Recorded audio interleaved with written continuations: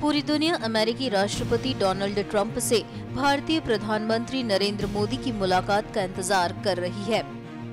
राष्ट्रपति बनने के बाद डोनाल्ड ट्रंप दो बार नरेंद्र मोदी को फ़ोन कर चुके हैं। और अब व्हाइट हाउस द्वारा बयान जारी कर कहा गया है कि ट्रंप इस साल मोदी की मेजबानी करना चाहेंगे। व्हाइट हाउस ने एक बयान जारी कर कहा राष्ट्रपति ट्रंप ने कहा है कि वो साल के आखिर में प्रधानमंत्री नरेंद्र मोदी की मेजबानी करने को उत्सुक है।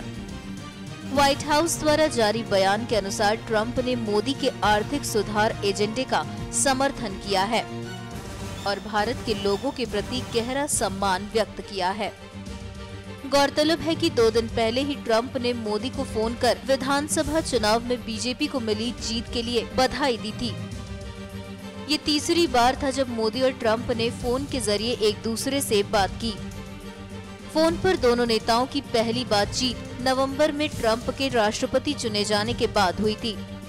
दूसरी बार ट्रंप और मोदी की बातचीत 24 जनवरी को हुई। ट्रंप ने मोदी को फ़ोन किया और वैश्विक आतंकवाद के खिलाफ कंधे से कंधा मिलाकर लड़ने की बात कही। हालाँकि व्हाइट हाउस ने कोई तारीख नहीं बताई, लेकिन इतना तय है कि इस साल के आखिरी में मोदी अमेरिका का दौरा करेंगे। इससे पहले दोनों नेता जुलाई में जर्मनी में होने वाली जी ट्वेंटी समिट में मिलेंगे।